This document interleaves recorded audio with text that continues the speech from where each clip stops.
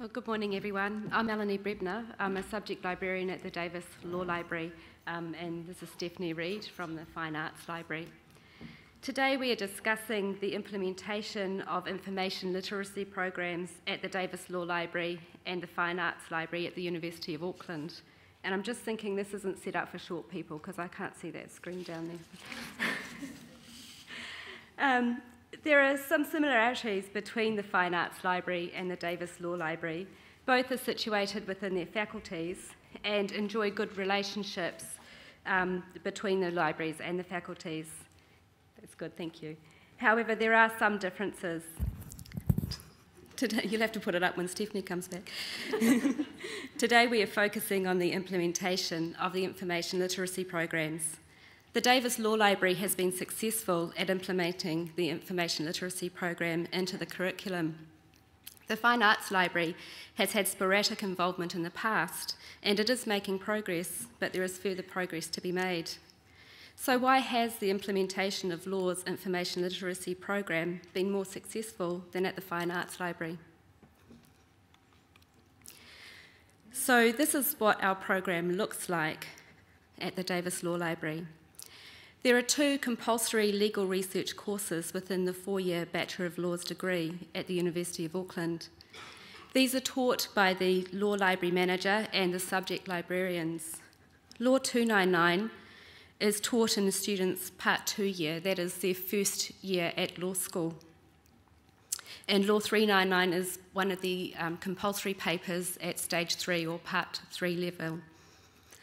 Law 299 or Legal Research 2 is a compulsory legal research paper. The paper is taught to all students entering Part 2 law in their first semester.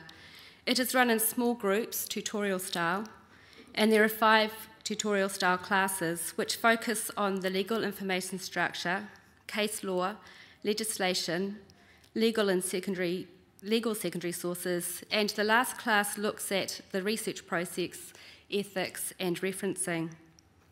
The emphasis in class is on traditional print tools, with knowledge assessed via worksheets, while online modules and tests cover electronic resources. Students are required to attain 80% in this course before they proceed onto Law 399 or Legal Research 2. This is a compulsory 10 point fully graded course. There are three streams run over the two semesters, and in total we teach about 330 students each year. Classes are run in a lecture style. However, practical exercises are taught with class sets so that students become familiar with handling legal print resources.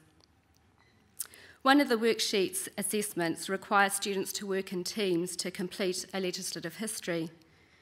But the main assessment is a research trail where students showcase their research skills across three jurisdictions, and this can be tied to one of their legal opinions from another paper.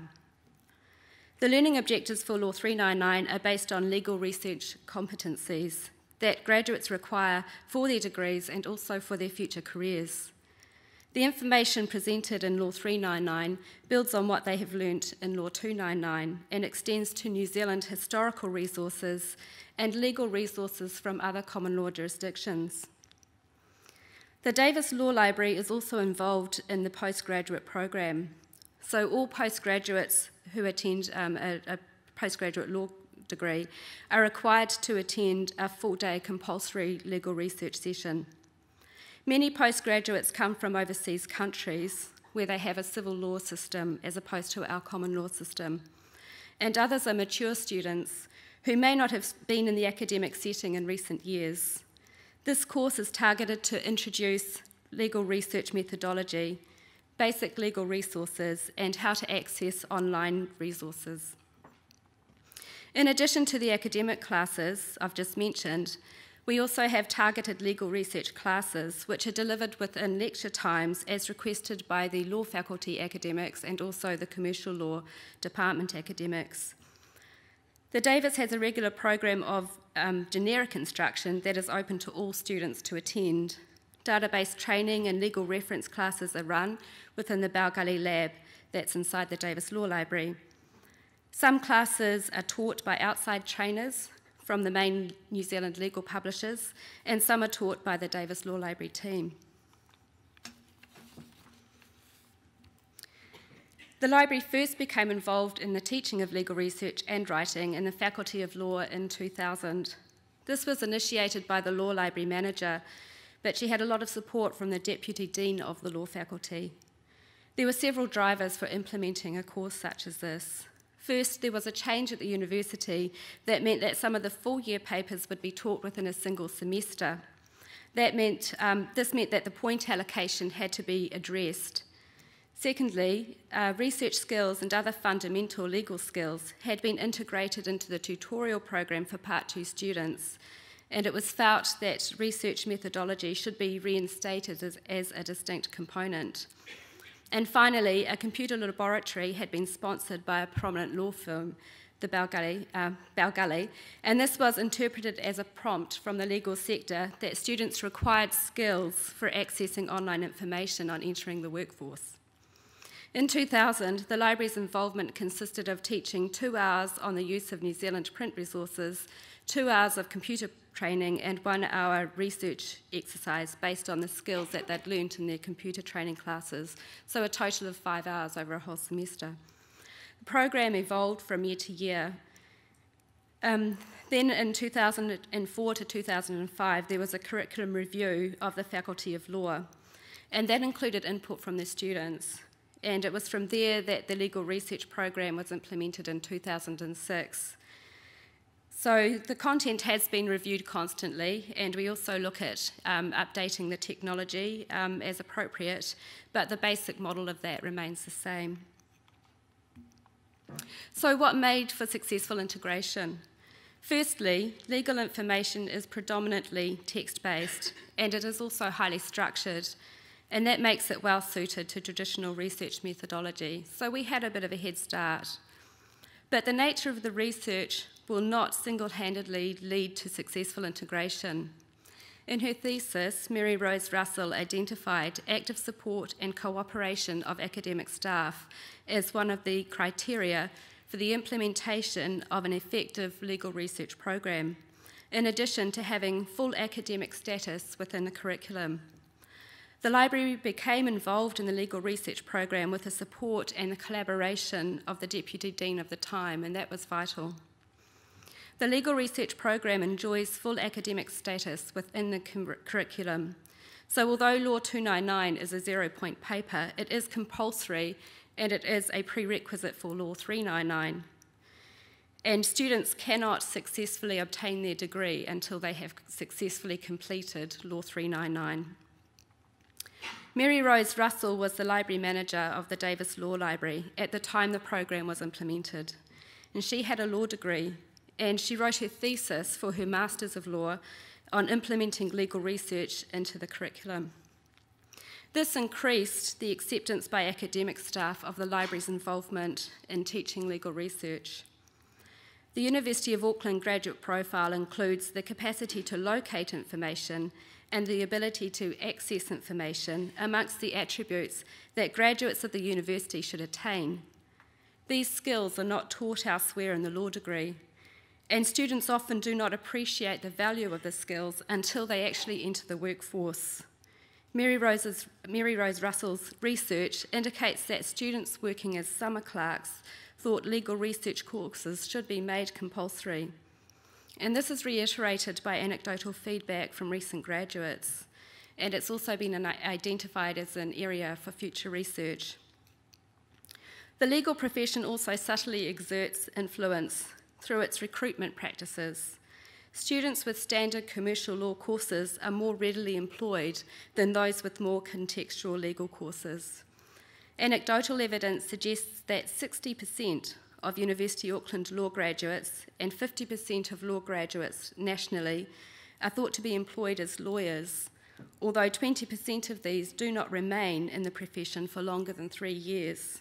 However, in comparison to the fine arts graduates, law graduates have a more defined career path, but we need future research to determine if the inclusion of our fully integrated information literacy program actually increases the employment opportunity of law graduates.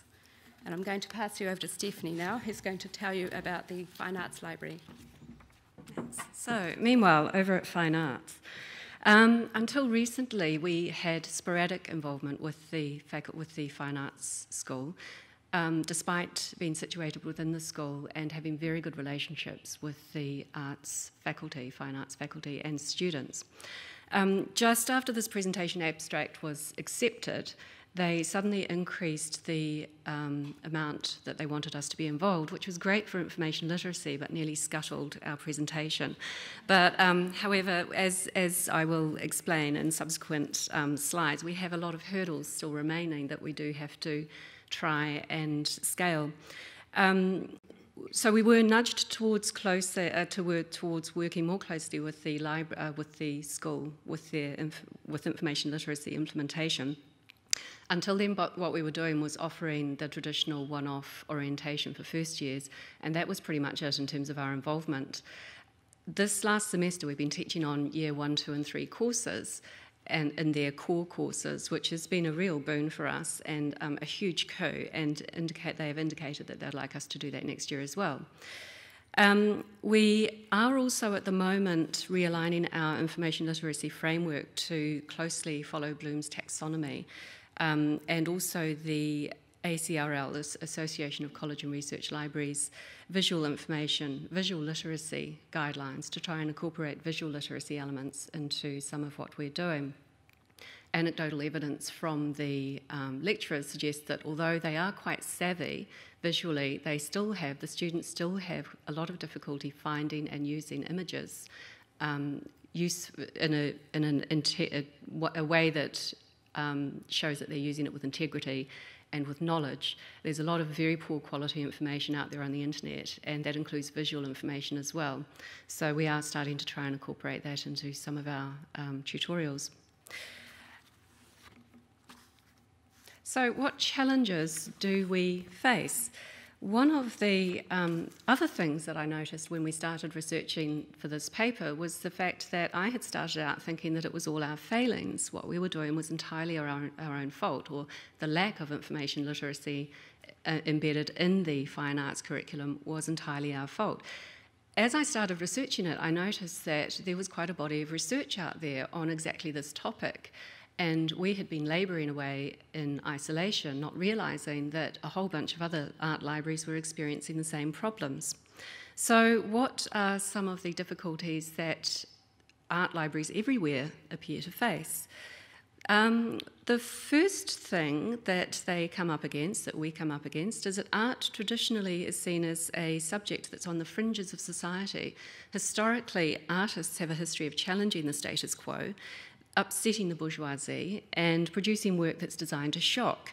When you then, when they find themselves housed inside the university framework, complete with its accompanying governance, administrative, and bureaucratic, set, uh, bureaucratic requirements, it sets up a tension between the subversive and shocking artists that they might perceive themselves to be and the compliant employees that they, they do need to be. Um, when talking about the place of the art school within the university, researcher G. James Dyson stated that the tension of being a professional while not being a professional is an odd balance maintained by faculty in university art colleges. This isn't necessarily just confined to art colleges, but it, it, is, it is something that we do experience with them. It, it, history causes it to be a bit more pronounced. Um, the preference, another challenge, is the preference of staff and students, certainly students, for non textual information and working in a non textual mode. And anecdotal evidence around the school does back that up as well. But there was a 2002 study by Wolff and Lundberg that suggested that the incidence of dyslexia is higher amongst art students than non art students. Another one is the movement within art schools towards art education as a professionalised discipline that values the intellectual and philosophical over craft and technical origins. So, in other words, they're not being instructed in a technical skill anymore. They're expected to pick those up as they go. They're much more concerned with the philosophical um, and theoretical basis that underpins their art creation. More challenges. Um, the nature of the research that they engage in, and this is a real a, a biggie for us, this is huge. Um, Helen Mason and Lyn Robinson did a 2011 survey of the kinds of information seeking behaviour that artists en- engage in, and they concluded that any information or library service seeking to match such a diversity of inspirational information faces tough challenges. So it follows that um, academic staff and students simply don't need the library for some of the research that they're engaged in. Some of the research that our year two students are engaged in currently are from, I'll list some of the following, and this is by no means exhaustive. Um, they're involved in looking at traditional physical journals and books, art magazines, databases and wider internet research, a variety of different archives and special collections, independent film archives, visiting council records offices, visiting physical spaces and photographing them, looking at old advertisements, both film and still, investigating modern, modern consumer perishable products, examining old work contracts for possible exhibition, old tenancy agreements, investigating the use of empty boxes, collecting personal and found ephemera, bus tickets, post it notes, business cards, ticket stubs, researching blogs, and writing one's own blog.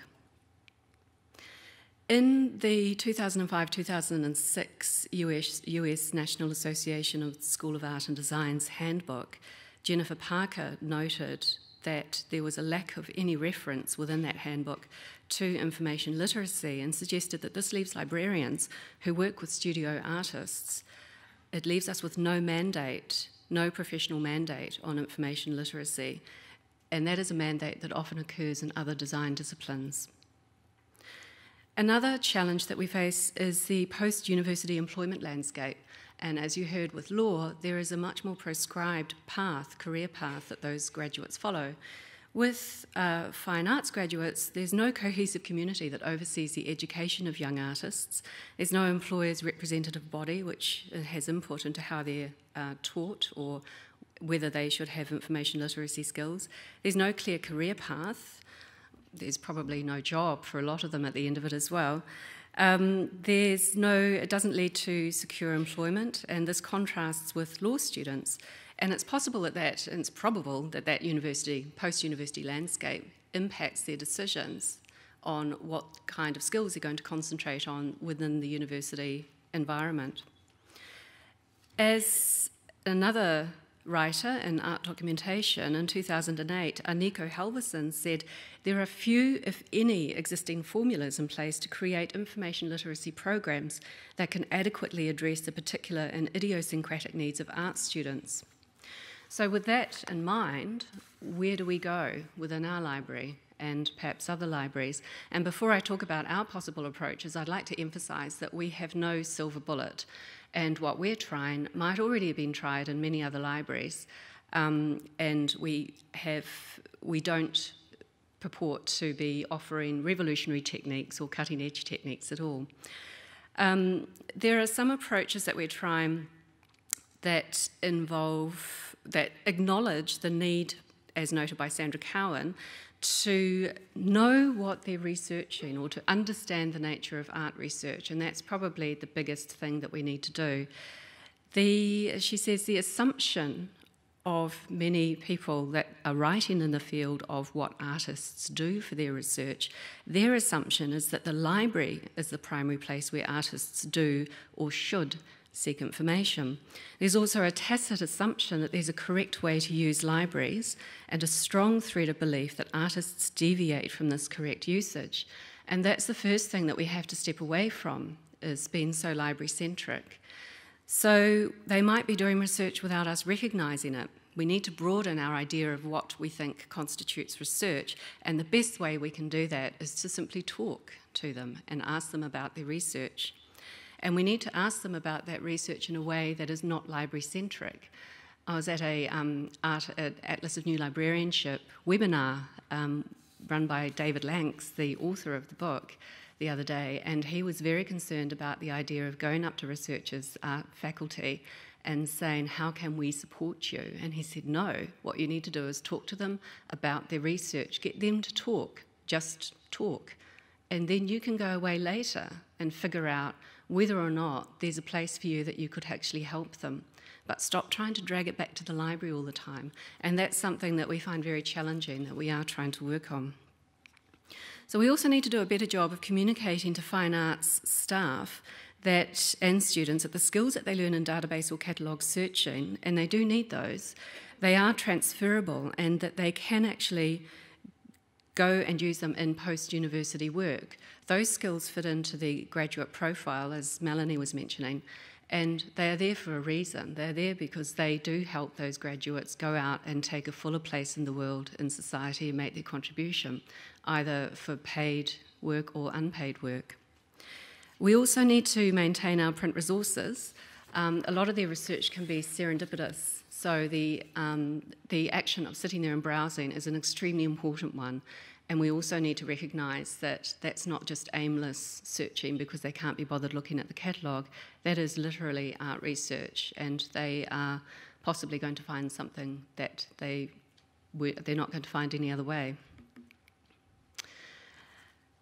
Continue to build relationships. That's obvious but worth restating, and that comes back to our previous point of getting them to getting staff and students to talk about their research.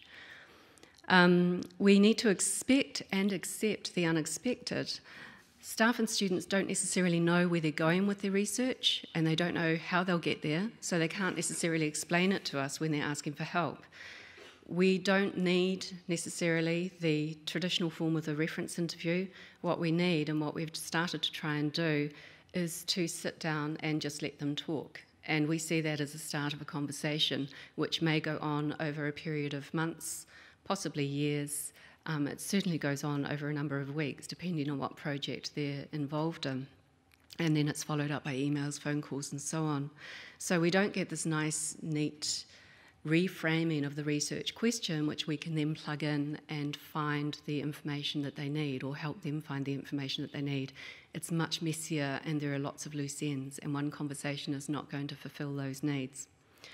Uh, we need to place the library resources within the wider context of multiple research destinations rather than seeing the library as having the answer to all their research needs as Cowan, Sandra Cowan also said, she said, information seeking is a creative process that begins and ends outside the walls of any library. Those of us who work within the library world do not necessarily have a complete understanding of the process for artists. The only way we'll gain that understanding we need in order to be truly user centred rather than prescriptive, prescriptive is by talking to the artists themselves. We also need to look at what other institutions are doing, and this is a huge thing for us because we've been labouring away in isolation. Other people are encountering these problems as well, so what are they doing? What can we adapt? So, in conclusion, there are some similarities. We have the graduate profile, which provides institutional support. We have faculty support, although in our case in fine arts it's much more recent. Uh, within both schools, we observe a commitment to developing information literacy skills. However, there are probably more differences than similarities. The nature of research is the biggest one.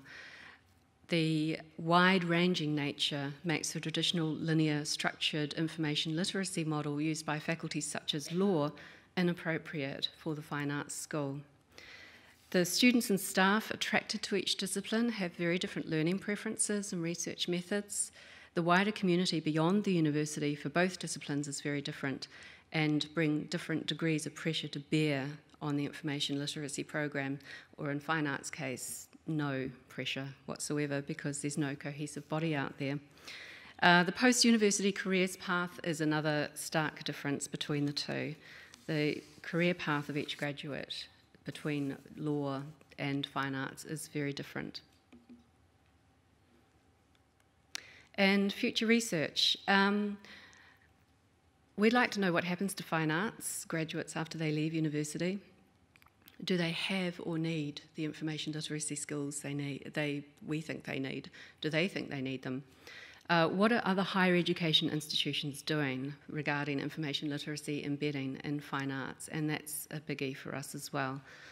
Um, and it would also be really interesting to follow fine arts students through their degree regarding information literacy. But um, again, that needs to be done in a way that's not library centric. Uh, a lot of research is done about how we can help them or, or how sort of bolstering our image in the eyes of, of students, and that's not necessarily going to be particularly helpful to the students.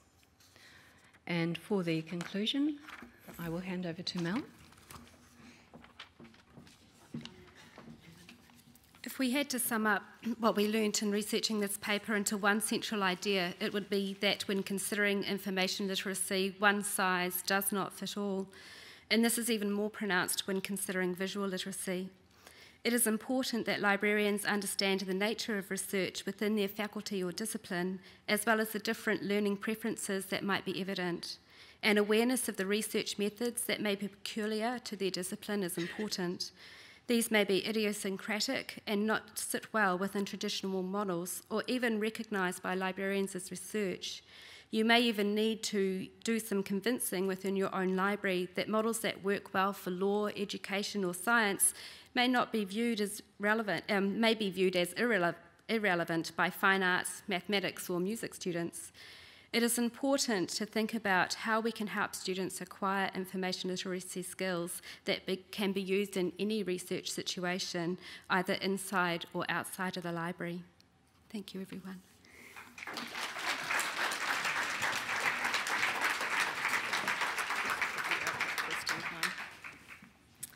Thank you, Melanie and Stephanie, for that very um, interesting presentation. And uh, I'm sure all of us that are involved in tertiary uh, libraries really relate to the challenges with the embedding of the information literacy modules.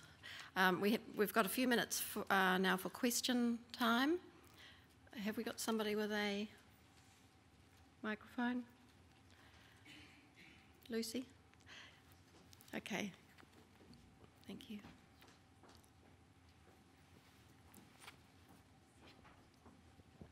Hi, I'm Paula. Um, I'm a school librarian. So I really loved your message about um, finding out what the students are doing. Mm. Can you tell me if you've encountered any staff resistance to that approach mm. and how you've managed it?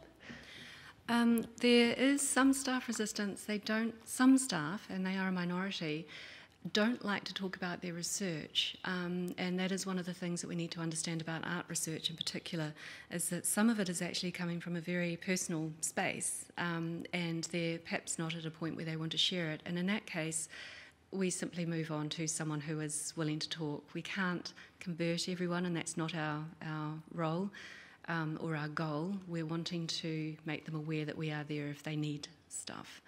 Um, but at the moment, because we're, this is in its infancy, really, we are just trying to work on people who are forthcoming, and there are enough of them who will, who will be.